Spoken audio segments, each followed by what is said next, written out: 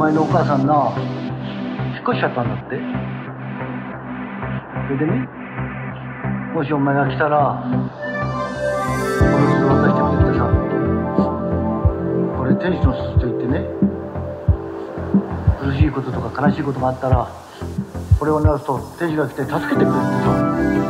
私ほら天使がお母さん連れてきてくれるから。天使来たか